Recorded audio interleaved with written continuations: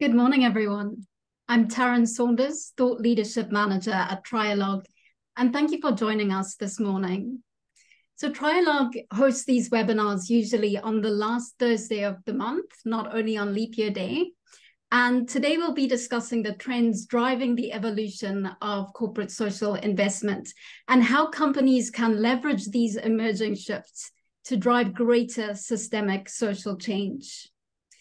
A few technical points before we start. There are two ways to engage. So you can use the chat function to connect with fellow delegates and to share your thoughts. And then you can ask questions in the Q&A box. We'll ask these to the panelists later in the session. So please direct your question to the relevant panelist and then keep your questions short and clear. And those are in the chat, the chat box. And then a short survey will pop up on your screen at the end of the session, and it will also be shared with you via email. And please do share your thoughts here so that we can keep improving these sessions for you. Then to note that the session is being recorded and the notes and the recording will be available to everyone on the Trialogue Knowledge Hub. Moving on to our agenda. So after a quick introduction, I'll be handing over to our expert panelists for their opening comments, and we'll then dive into discussion and they'll answer some of your questions from the Q&A box. Each panelist will then give a short closing comment. The first poll will appear on your screen now, and we'd like to know which type of organization you represent.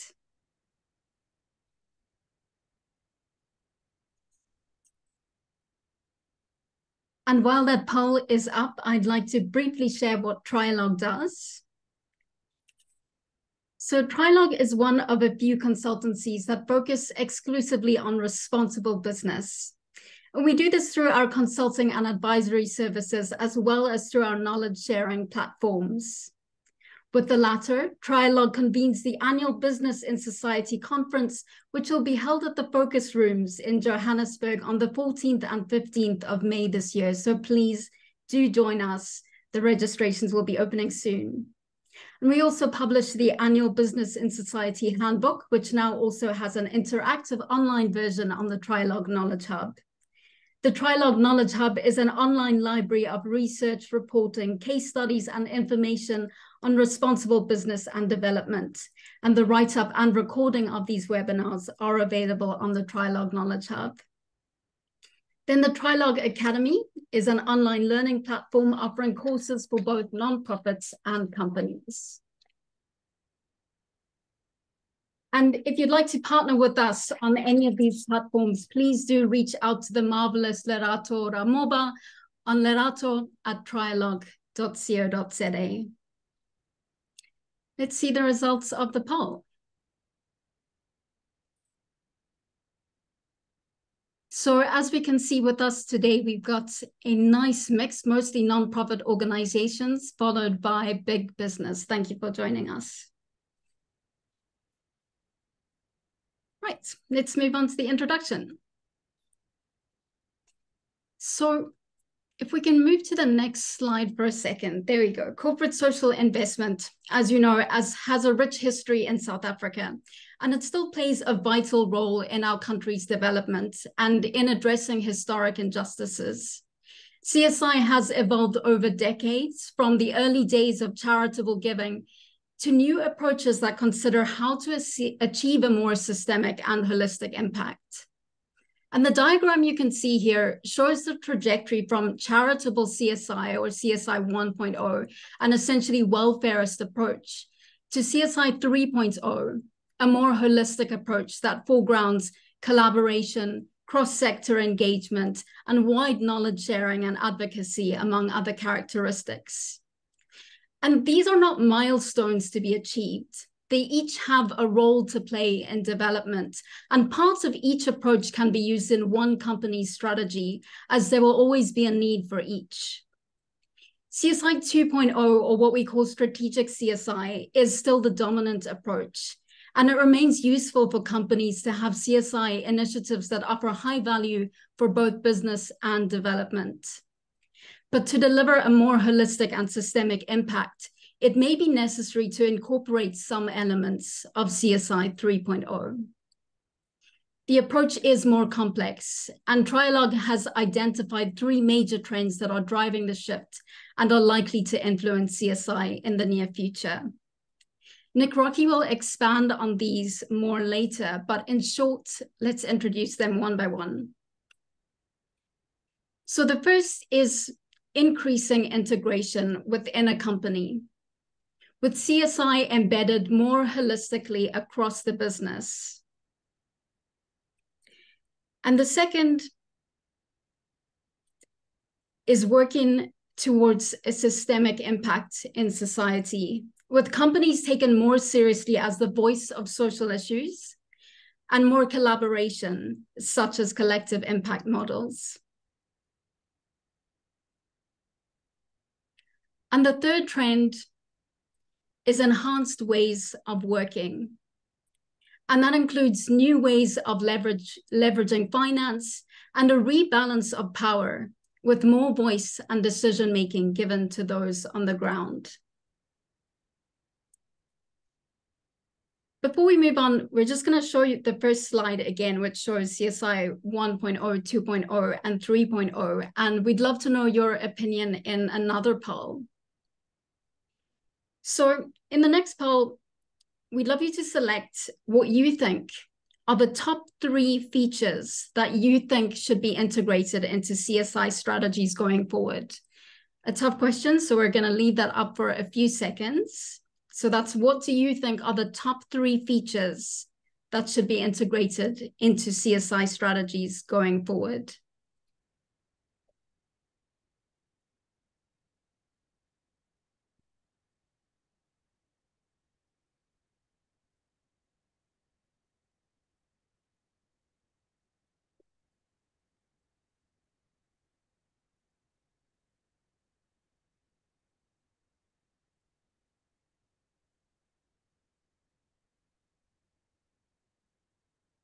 A few more seconds there as you select those.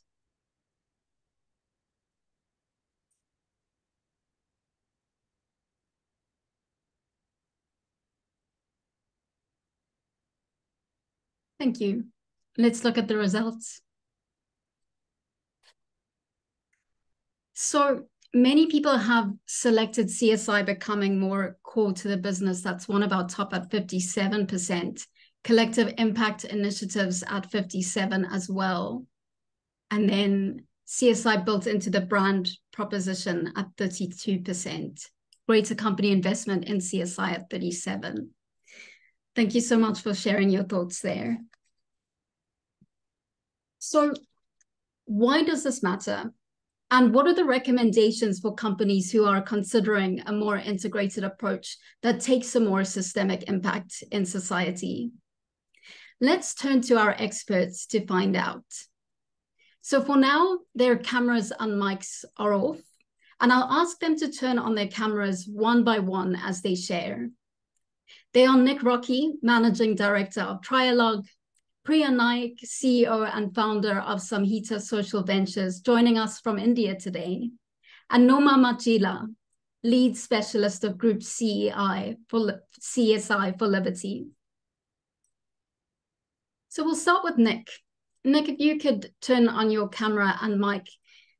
Nick, could you tell us some more about CSI 3.0 or leverage CSI and why you think this is the future?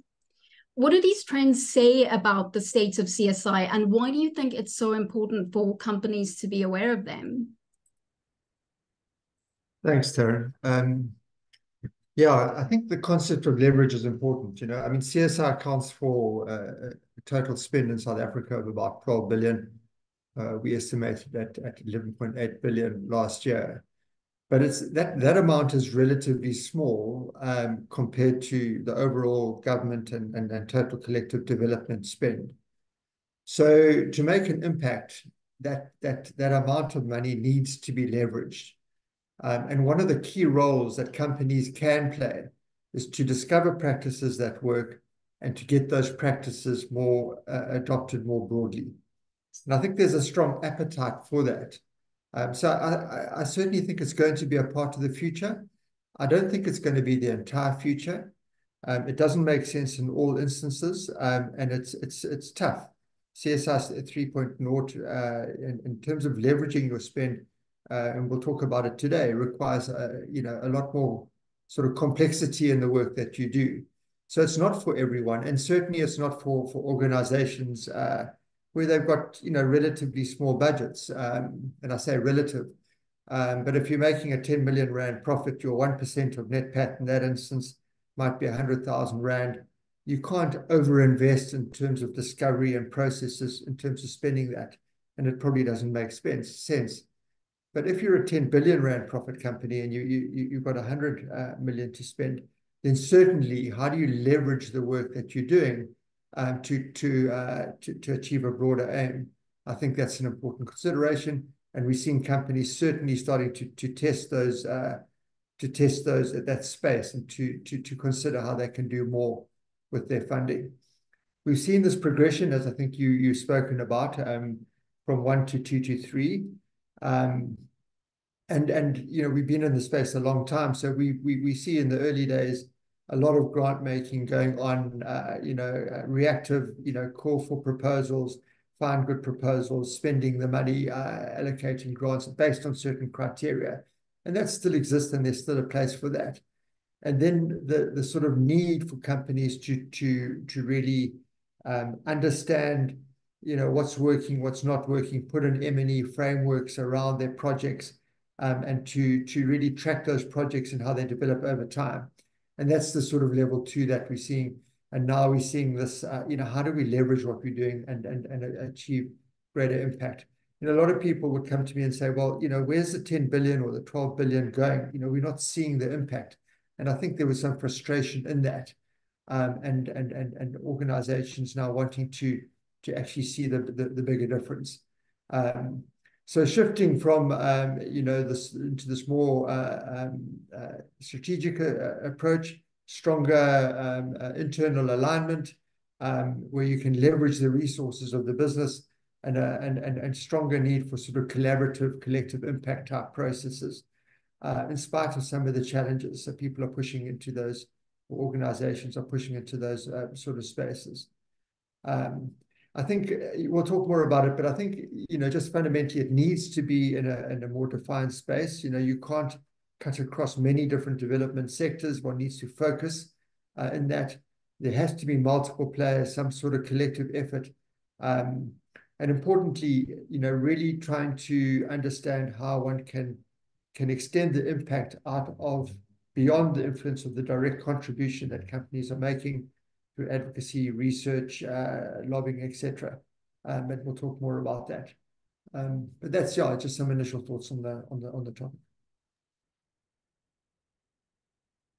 Thank you so much, Nick, and thank you for expanding on that. And yeah, as Nick mentioned, we'll touch on some of those points later on. Um, but for now, we'll we'll hear from Priya next. So Priya, if you could turn on your camera and your microphone, could you tell us a little bit more about the CSR landscape and trends in India? And whether you've observed any of the characteristics that Nick has spoken to of Leverage CSI? Thanks, Taryn, uh, and thanks, Nick. It is such a pleasure to be here, and I can't believe there's 325 people. We never get those numbers in India. So delighted to be here, and good morning to all of you. Um, I thought in my five minutes, I'll quickly cover three things. One is um, the trends in India as far as CSI is concerned. Um, I think just an increasing movement towards collaboratives uh, to see much more leveraged impact and really the advantages that these collaboratives offer to the private sector in a way that you can leverage corporate philanthropy, uh, but do four things, right? One is address the needs of corporate stakeholders, create win-win solutions for the private sector, the public sector, financial markets, and the social sector um, to really leverage philanthropic money in a very significant manner and really solve social um, issues at scale. Um, so in the last few years, we've seen CSI contribution grow up, I mean, go up kind of dramatically. So compared to 2016-17, we've now seen a 73% increase uh, in spending uh, by corporates. A lot of this happened because India, similar to South Africa, has a regulation which requires large companies to allocate a part of their funding uh, towards social causes. But what's been interesting also is that are the 20,000 companies that are mandated to do CSR, as we call it in India, uh, more than 50%. So 10,000 companies actually spend more than the 2% allocation, um, which really maybe points to the fact that companies are going above and beyond just the call from a governance perspective or a compliance perspective and really seeing the benefits of that contribution. Um, similar to South Africa, I think um, you know companies here are also being directed by national priorities. So even in just the last year, we've seen a 130% increase in um, CSR spending on agriculture and environment issues that has primarily happened because of the climate change that um, the country and the rest of the world is experiencing, but also because an Indian regulator um, really encouraged companies to spend a lot more money uh, when it comes to green projects. So um, government nudging goes very far here, um, similar, I'm sure, to South Africa and other countries. Um, a really positive trend is uh, the government encouraging companies to invest a lot more in impact assessment um, and really guiding them to make more data driven, evidence based uh, decisions. Um, it's been such a good trend, and you know, it's something that companies seem to have embraced.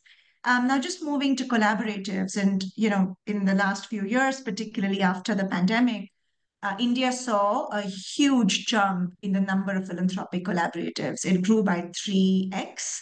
So uh, it went from 15 uh, collaboratives to 43. Um, these 43 collaboratives really leveraged about $250 million uh, from a set of funders. Uh, and these collaboratives were very interesting uh, for the philanthropic ecosystem because they're flexible, they're efficient, they address complex and cross sectoral issues such as health and education and women's uh, empowerment.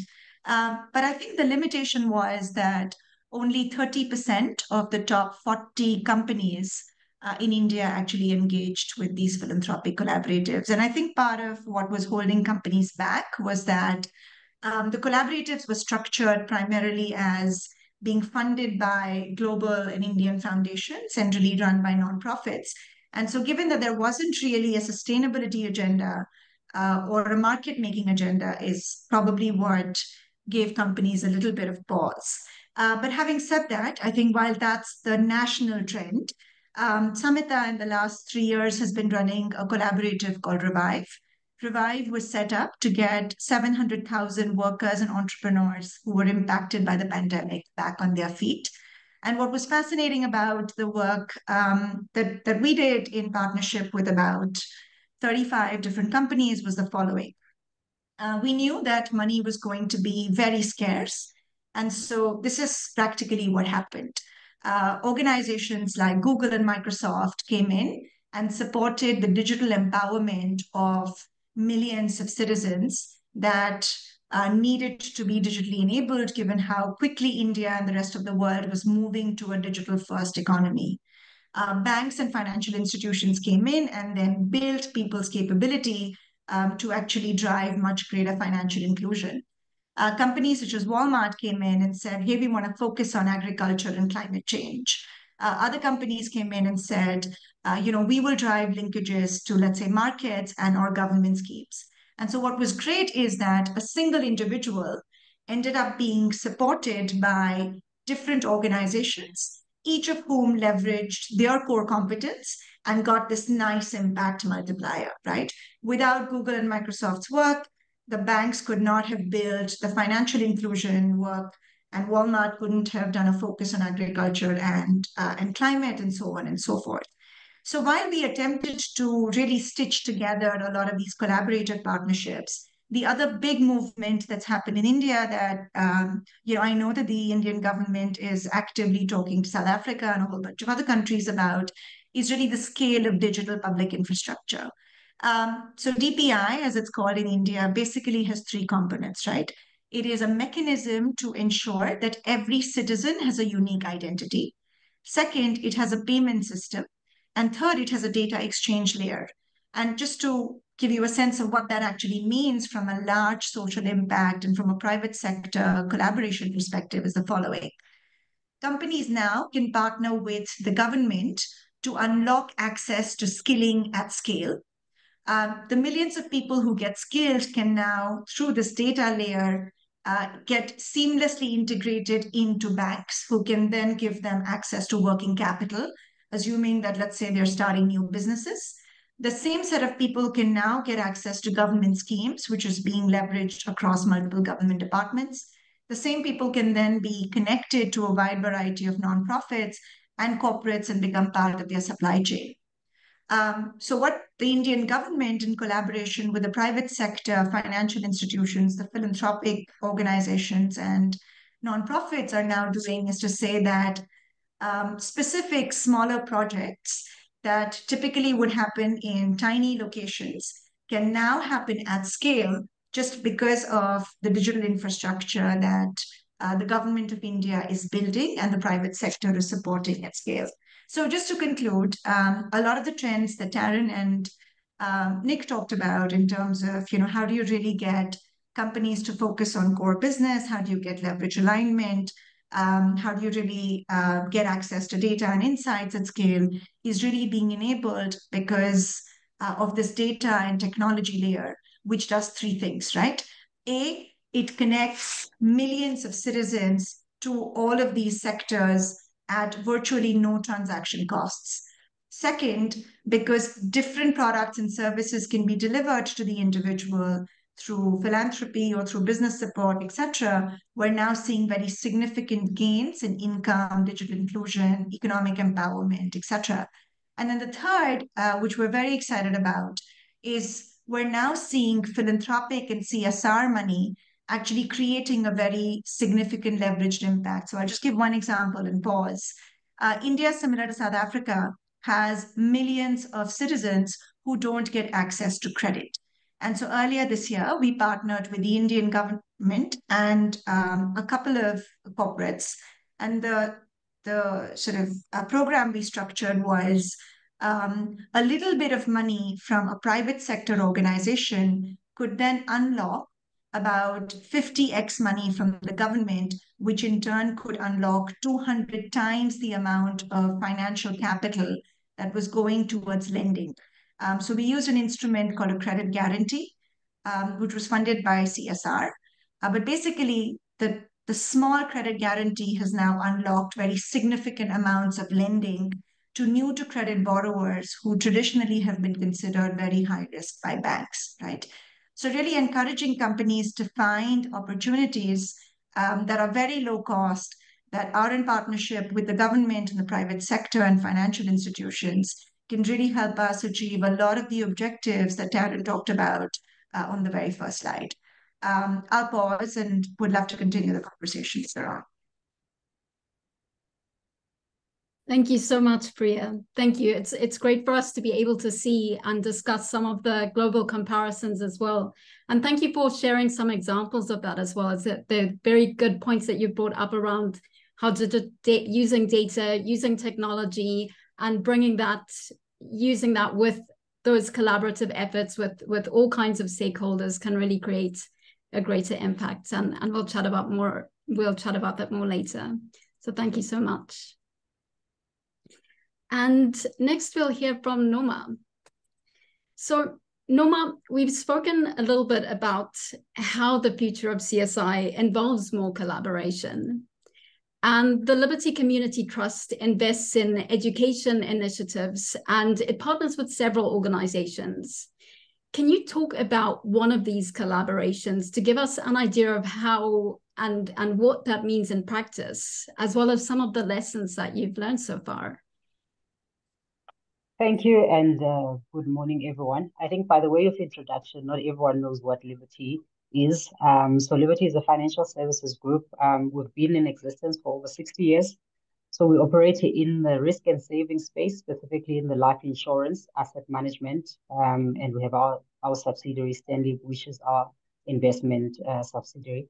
We are a subsidiary of Standard Bank, and we are now fully owned uh, by the group. So I am part of the corporate citizenship space, which looks after the Liberty Community Trust, which is the foundation of the subsidiary, which is Liberty. So the aim of the trust really is to improve the learning outcomes of the young people in South Africa. And we do this by investing in education initiatives. Uh, hopefully, in a way, we're able to bring sustainable economic inclusion in, in the system of South Africa. So as a team, when we started, we look at the landscape of South Africa in, in literacy and numeracy, what SA's response is in education, and the factors that really influence South African learners in achieving their learning outcomes I mean, we concluded on three strategic focus area. Actually, the one I'm giving example of is in the foundation phase literacy. So when we're looking at projects, uh, we partnered with the likes of, of, of Trialogue. That's where also collaboration came in to help us source a strategic uh, partner. So three well-experienced NGOs, uh, the likes of Food Dash, Nal'ibali, and WordWorks, applied independently as they operate in the literacy space. So when we presented these to the board and the board challenged us to say, can we go back to them and ask that they must bring one individual joint proposal? So what was interesting really about this is that um, all of these have a common had a common goal um, of solving literacy crisis in South Africa, but some were not providing a holistic approach to what we wanted to see.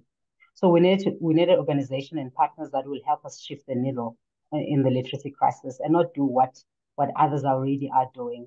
Um, and I mean, we've seen that research suggests that we need to look beyond traditional focus of classroom and look where the children's um, needs are at first. So we had and we had extensive discussions, which led to the three, three partners really willing to have a joint proposal.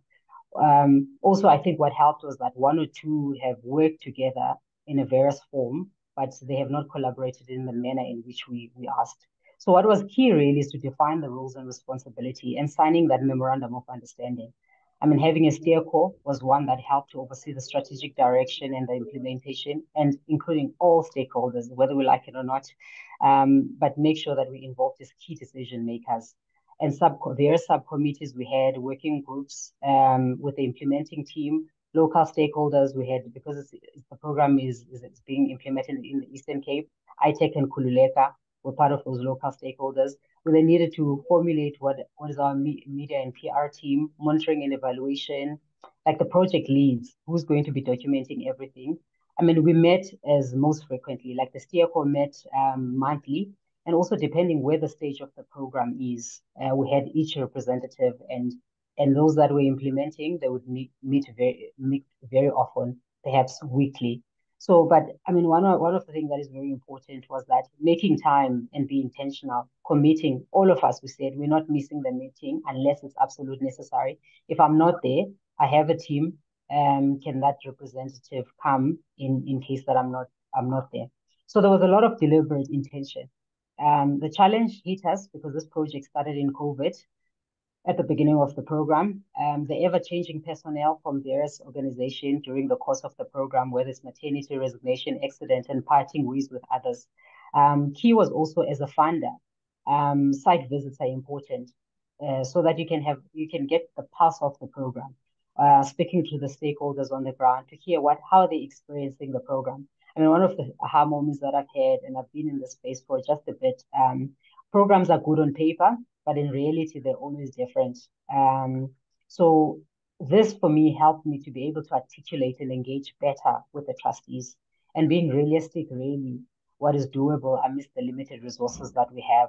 I mean, one of the toughest jobs is to really appeal to the board members uh, to make sure that um, they see beyond the rand and cents that they've allocated to the investment. And one of the challenges was really also the pressure of um, showcasing impact, a systematic change, which we claimed we are going to have. And and I think as an industry, there are certain terminologies that we're using which doesn't assist us much. And sometimes we use them interchangeably, although they mean things that are different, like your outputs and outcomes and impact. Everyone wants to see the impact, but realistically speaking, if you're going to fund a project for a year or three years, that systematic change you really have to prove. Um, and especially we operate in dependencies.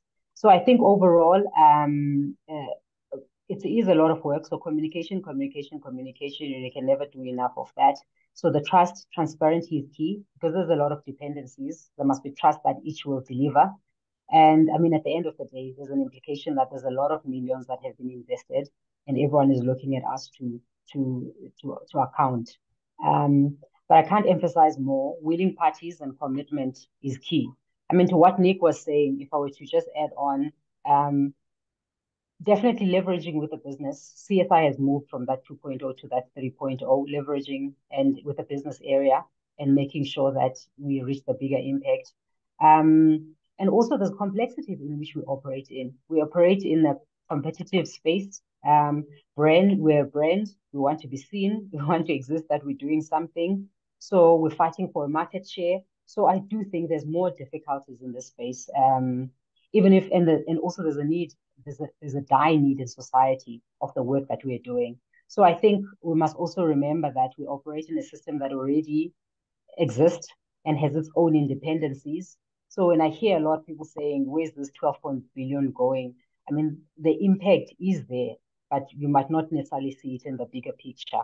Um, so having things like your monitoring and evaluation is key to drive that systematic change. And I think Nick mentioned in terms of being focused, because we really have limited funding. And we've seen over the years that the, the funds are dwindling.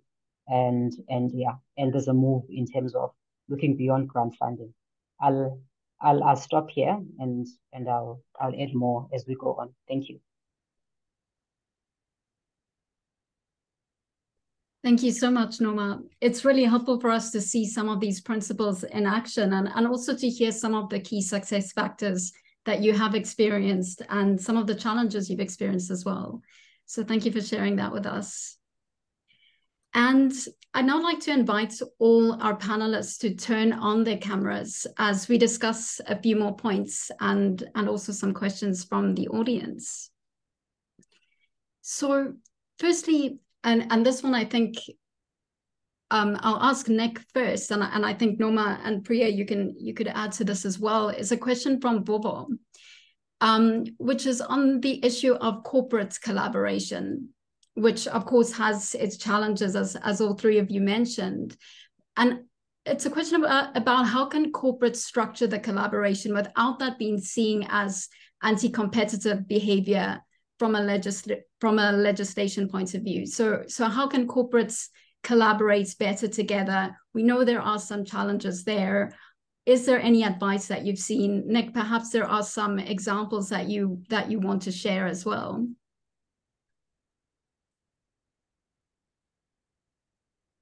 Um, sorry, so should I go first then? That would be great. Thank you.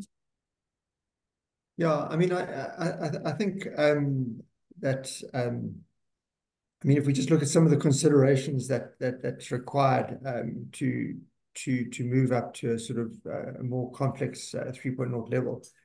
Um, and I think Noma referred to some of those, you know, uh, the um, the board and the decision makers and the uh, the investment mandate and the resistance to change is is, is real. Um, and people are used to the way that the business as usual, which is sort of you know, doing, um, uh, you know, investing in, in, in, initiatives where you can see the change.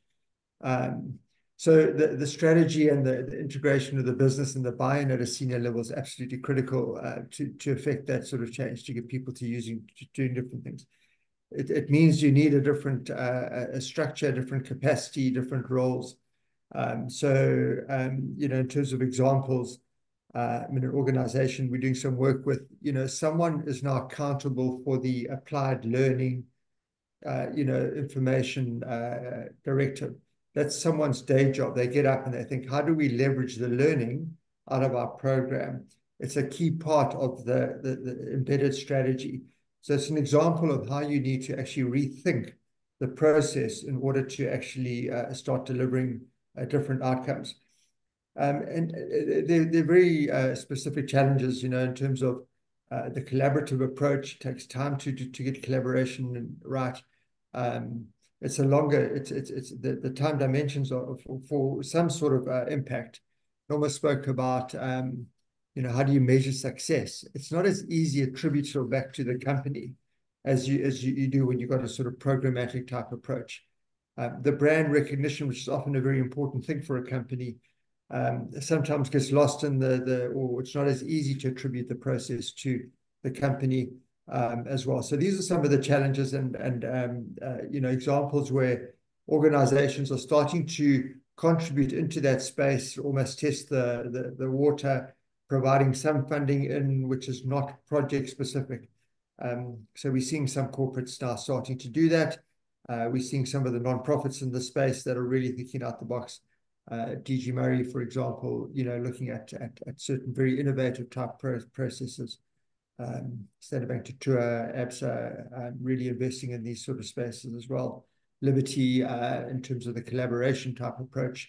Um, you know, it just I, will stop talking, but the the the incentive to work together is not easy. You know, NPOs don't typically want to work together, and companies typically don't want to work together. Companies, in order to protect their brand, NPOs in, in order to sort of preserve their space and their IP and their, um, you know, so so sharing is doesn't come naturally.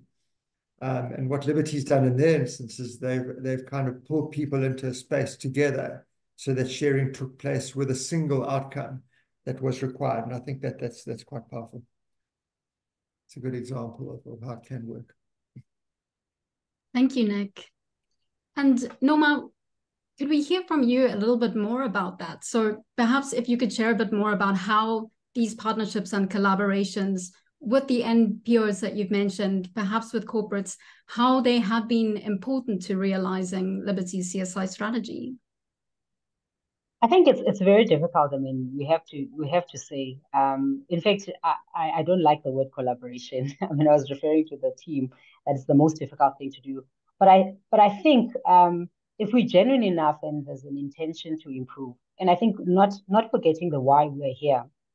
I mean, we're here to better the society, and if you're doing it alone, we're not going to we're not going to work. So I think coming to that understanding and really being able to define. I mean, if you look at the three NGOs that I, I, I refer to, they're they're strong in the literacy space, um, but then there's one that's better in the other. So I think maybe because I was a funder and I was able to analyze to say, this is my sense that you do this, one does this, and the other one does this, and the other one does that, although you're operating in the literacy space. But what is distinct about each of you? Can we pull those things together? and are really having a real discussions and having those steerco meetings. I mean, you really see from the beginning of the meetings whether is this going to go anywhere or not. Um, and I think it's wearing that um, that cap of maturity and, and then saying that we can do this together. We're not in the space to compete, but we're in this space to to scale up and, and really showcase that it's doable. And I think for me, as much as I've we've been working with other NGOs, it's pot- it's possible also to work with other with other um, corporates. But then there's that, that complexity that I mentioned that we don't operate in a system that's in isolation. There's that brand presence that is expected, and we are competitors in business, and and and it's convincing. So I guess having the right people to make those decisions, because when we go back internally with all our hopes and and great work, you are asked, um, this competitor is there why are you partnering with them? So I guess is being able to articulate that clearly and and and showcase the impact that you'll be doing. But it's not easy, I have to say. Thanks, Taryn. Thank you, Noma, and thank you for sharing that. I think it's it's also it's really good to get an idea of some of the challenges as well and some of the barriers that that companies are facing as well. And Priya, you gave us some good examples of, of collaboration across governments, across big businesses, across NGOs as well. Um, and I was wondering if you wanted to comment on that as well, just in terms of the competitive aspect and, and whether that comes into the challenges that you've seen in, in the space in India as well.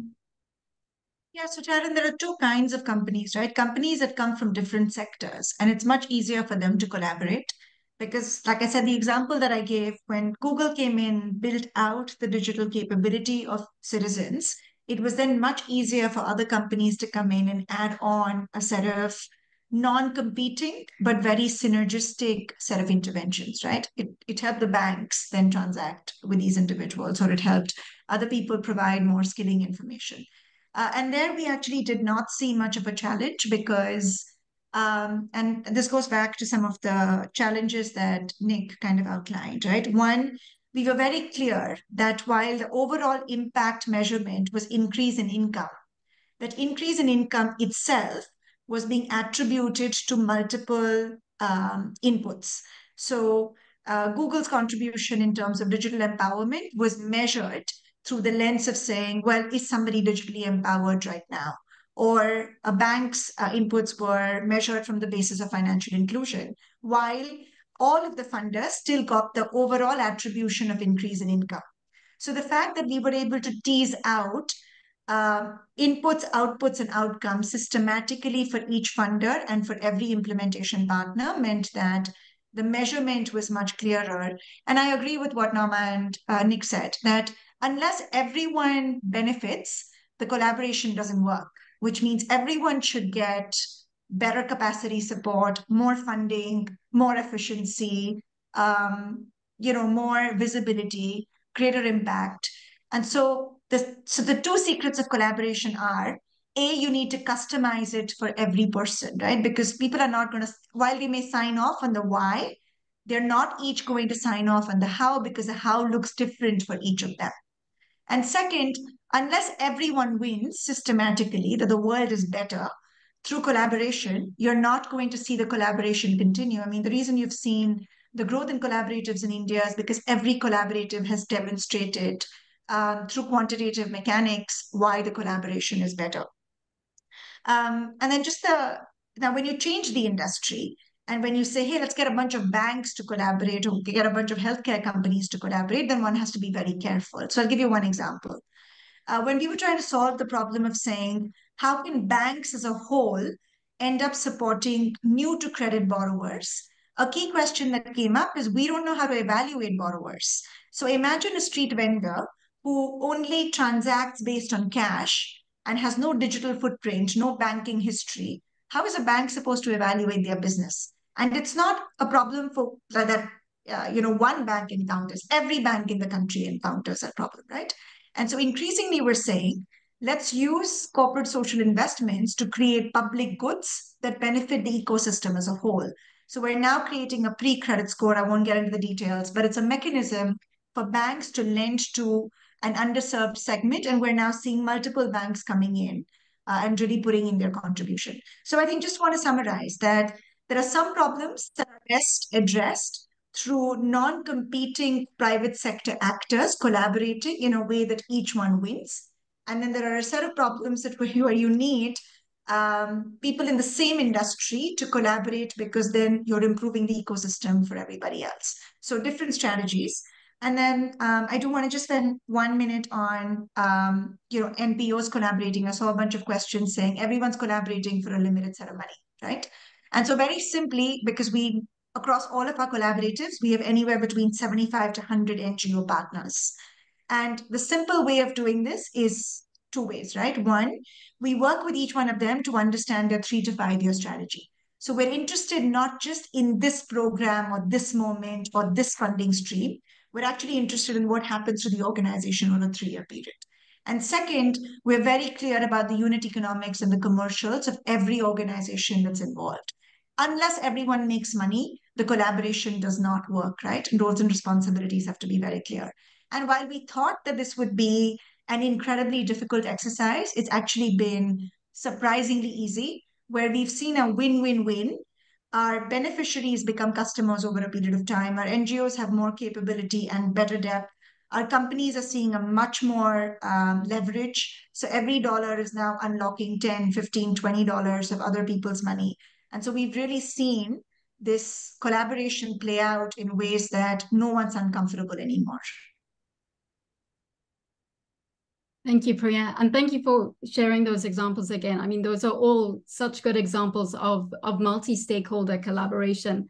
And thank you for bringing in more about your NPO partners as well and, and those that you've seen. Um, Noma has also shared about how Liberty has selected the NPO partners that they worked with. Um, and I'd like to hear from Nick a little bit on that point as well, thinking a little bit more about CSI in the future. How do you think the role of non-profit organizations in CSI will change in the future? And, and also whether you have any recommendations for non-profit leaders.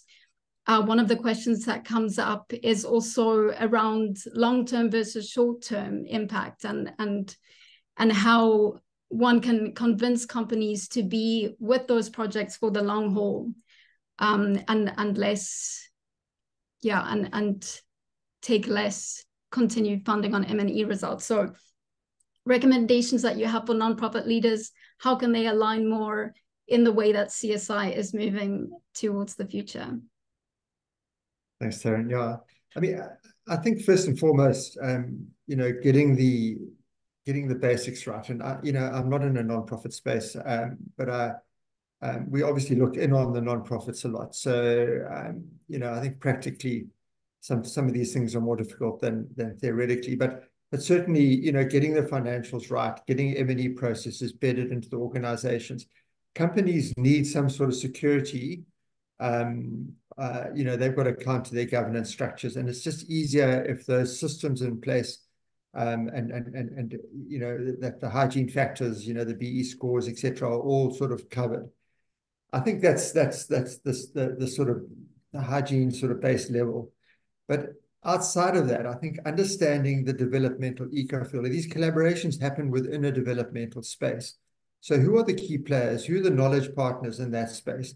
How do you engage with them? And I know all of these things take time, but how do you reach out? How do you become, you know, more than the isolated project or organization that you are? Um, you know, if you're in a particular geography and and there are others doing similar work in, a, in different geographies, can you set up a conversation? Can you start sharing practices?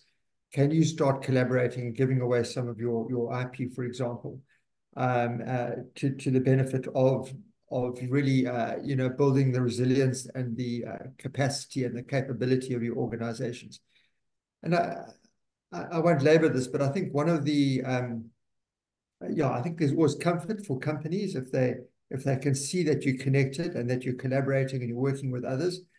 Um, the other is um, to um, to to encourage your your, um, your, your corporates to go with you on that journey, um, so that you become real partners, not just uh, you know this sort of. Uh, often when we talk to to to companies about their role, you know, you, we say, are you playing just a funding role? Or are you doing more than that? Are you actually working with your with with the NPOs to understand the developmental space, to look for solutions together, and and to encourage corporates to invest not just in you know providing a check to deliver a solution uh, in a linear and, and very confined way, but to to start um, uh, you know investing in uh, you know maybe proposing some research that could be done, proposing some funding for uh, doing some networking or bringing people together etc. So, um, you know, try to push your corporate funders into a slightly more advanced space. It's obviously difficult depending on the scale of the NPO as to what you you you, you typically can achieve, but there's some very strong, powerful, really rich NGOs with really rich info, information and insights. How can they leverage that to help their partners go along the journey with them? I think that's what we're saying. Thank you, Nick. That's some really sound advice for for NPO leaders and I mean, just to to uh, summarize some of that, showing evidence of collaboration, showing uh, that focus on partnership, the focus on impact, uh, taking a more proactive approach, and and focusing more on how you can add value to to the corporates that you want to work with. Um, those are, are some of the are some of the, the the issues that have come up across across the speakers. So thank you for sharing that. And Noma, is there anything you want to add to that before we move on to the next question? I think I think um, I think being focused is key as well. Um, knowing, I mean, one of the roles that I play, although I'm a funder, when I'm unable to find you, I act a, as an advisory role um, to say what potentially you should tweak in order for you to get funding. And also, you know, it's tiring to always apply for funding and then you get no, right? And then it, it gets discouraging. So for you to limit those no, apply to companies that are similar to what you're doing. So we must then look at the strategy. I often find, for example, if I give an example, is that people will always ask um, for sports funding. But if, they look at Liberty, we're not in that space. So, and also being part of um, of the likes of Trialogue, being part of that database, being part of these webinars, and and just taking time to learn what is what are these tricks and sometimes i know money is not there um but outsource certain functions to say, even, even if in a once off, um, to say, can you help me write this proposal? Um, and, and I think I can I cannot um, emphasize more. The external evaluation is key. So I know NGOs usually don't have money for external evaluation, but when you're asking for funding, embed that in the funding and say, we don't have enough money. Could you help us? Uh, because companies always want to see what is the impact. And remember, I said earlier on, I mean, we always use these words interchangeably output, outcome, and impact. And impact is long term. Um, and I think that is quite key. Thanks. Thank you so much for sharing that, Noma, and, and really for highlighting again how important that alignment with the company goals are and with the company's CSI strategy are, and how important it is to prove that impact when, when you are talking to a company. So thank you for that. Um, we are at one point. Of course. Yeah, so you know, we we work with a large number of NPOs, right? And the one thing I always tell them is that what is your flagship should become the company's flagship. It should no longer be you going every year to pitch your work in education or healthcare or social justice. The day the company believes that this is their program, your funding issues are over because now it is up to them to get internal alignment and really champion the program as their own. And we've now seen this, right? Yes, you have to do the hard work that Nick and Noma talked about, about demonstrating progress and, about, and showing um, the results. But as soon as you change the conversation from you are funding me to I am helping you as a company achieve your social impact or environmental goals, then you know the nature of engagement changes dramatically. Um, so today we find that our funders are championing us because they think they're championing their work, right? We just happen to be delivering the work that they believe is important. So I think changing that that narrative um, goes a really long way in ensuring sustained and long-term funding. Thank you so much, Priya. And thanks for bringing to light that importance again of changing the conversation and shifting the power dynamic. And I really like that, that line that you said that your flagship should become the company's flagship as well. So I just want to move on briefly. We focused a lot on collaboration, but I just want to touch on one of the other aspects of CSI 3.0 for now, um, which is knowledge sharing and advocacy. So that's one of the trends that's been identified. It's one of the things that we've we've noticed is is becoming part of the future of CSI. Um, Nick, if you could share a little bit about the business case for this and, and why is it so important for companies to invest in wider knowledge sharing and advocacy? No, sure. Um, I'll be brief on this. I think one of the the key things that companies can do um, is to establish what works um, and to leverage that. As I mentioned that at the start. So the innovation role that companies can play, um, you know, government can't afford to do that. It's a very slowly, slow moving machine. Um, it takes years for policy to be embedded. It takes it takes a long time to to to shift that. Uh, you know, it's a big tanker that's moving in a direction. It takes a while to change direction. Companies can move very on a, on a much more agile basis. They can test things. Uh, they can, uh, you know, shift the program. And we're working with an organization that's doing exactly that. They they research, they modify. They research, they modify. They really are trying to understand what works and then once they've got that credibility and they've they've done the hard yards in terms of understanding that, they it, it makes sense to then get others alongside uh, them to actually start learning from those practices. Not everyone should be going through the same learning process and paying the same school fees. If something really does does uh, ship up and work, then, then then it's important to try and try and do that. And there's a huge amount of credibility um, that that that can be achieved through that to do that, you need to do the research. You need to then start advocating. You need to build on first you establish the basis of credibility, and then you start uh, leveraging that through uh, informing and influencing the ecosystem, whether that is other uh, players, uh, academics in the space, government in the space. Um, so the, the, the knowledge sharing and the advocacy is absolutely critical to this process in terms of uh, achieving extended impact. Um, and it takes time and effort, and it's it's it's not obvious. You know, it's not your typical program, and you need the right you know the right capacity and the right level of of, of, of individual to go out there and start championing that cause. Thank you, Nick. And Priya, you also mentioned how data and technology has played such a key role in, in some of the changes you've seen as well. And I think that also speaks quite well to, to what Nick was saying about the importance of, of knowledge sharing and, and really using those using that evidence to make decisions to to scale up and, and to make a greater impact. And I know that there are a lot of questions still, and unfortunately, the challenge that we always have with these sessions is that we do run out of time.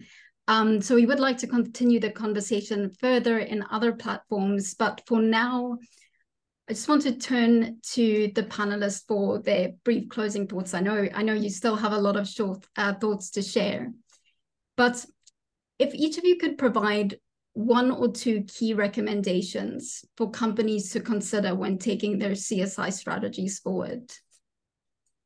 And we'll start with Nick. Yeah, thanks. I, I think um, the recommendation would be to really start with the, the strategy and, and your aspiration and understand what that looks like. Um, and, and then to ensure that you bring your executive team along with you. It's easier if it's aligned to the business and embedded within the executive structures of the business. Um, if it's peripheral to the business, it's much harder to get that kind of traction and that continuity and those own projects, as Priya was talking about. So I think that's a, a, a, a key strategy aligned to the organization and then bringing the, the, the decision-making team along with you um, to understand what that looks like. And if you're successful in actually convincing uh, your uh, executive structures that you are going to achieve or pursue this more extended impact, make sure you're capacitated to do that. You know, it's not the same team that was going out and visiting projects is not going to be the same team necessarily that's driving a more collaborative agenda. So you need to relook your organizational structures. Uh, but first and foremost, what are your aspirations? Can your strategy support those aspirations? Have you got the executive buy-in? Um, and then uh, and then have you got the team and the, the, the process to to roll it out? Thank you so much, Nick. So yeah, key for me there was step one, working out what are your aspirations, and step two, working on how do you create the capacity to make those work. So thank you for sharing that, Nick. Uh, Noma, if I can ask you next, if you can provide one or two key recommendations for companies to consider when taking their CSI strategies forward. I think, Taryn, being focused is key. Um, know what my solve is. Where do you start and where do you end? Because what often tends to happen, we end up solving the, the issues that we don't have capacity for. So I think it's quite important to focus. I mean, as I said initially, we operate in a system that has a lot of complexity and dependencies. Um, your solution might not be holistic enough to the system's problems, and that is okay. So showcase that what you're doing makes sense and it works. So your research is quite key to showcase what that what that looks like. And I think what I often find majority of the time, programs are not uh, uh programs are good on paper, but in reality they are different and they're always different. Um, and maybe my last one is that be okay to to have the toughest conversations about what is not working about the program. I often find people think that funders want to hear what has worked and we shy away from noting what is not working about the programs and and because of those dependencies. And i mean with every program when we are solving any issue there's always assumptions um, as much as we cooperate, we are coming into the system of education. If your key is education, there's already basic education that is helping. So I think um, showcasing, being being comfortable in discussing what didn't work and what will help in improving those projects. And let's co-create together because we are all in this together. Thank you, Chair. Thank you so much, Noma. Some great points there. And especially to bring in that point around making sure you know what your focus is, doing your research and really bringing in that element of transparency and sharing the challenges as well as what is working. So thank you. And Priya, we'll close with you. What are your one or two key recommendations for companies to consider when taking their CSI strategies forward? We have to be catalytic, right? Um, the resources and the networks and the strengths that the private sector has are unique Um, and how do we do four things, right? How do we really leverage their strengths to solve social causes that only they can? What Unilever did for hand washing, or what banks are doing for financial inclusion, they've only been able to do it because they're leveraging their key strengths, like Nick talked about, right? Second, that, and you know, to Noma's point, uh, we're all in it together. So think collaboration, right? Um, and so, what is the little bit of investment that companies can make to get the largest number of actors to get behind a cause that they care about? Yes, it's hard, but it's totally worth it because the leverage that they see is very, very significant. Third, who are they influencing? So, just on the point of knowledge, the question that I ask my corporates is what's your exit strategy? And therefore, what data, what insights do you want to collect today that somebody else will use to really build a strategy to take over from you? And you have to build that in today and you have to get that stakeholder in today, right? So, who are you trying to influence? Uh, and how do we get them into the room today so that companies can truly be catalytic? And the last, and we've learned this the hard way, is that we have to go from philanthropic funding to really creating sustainable markets for the poor.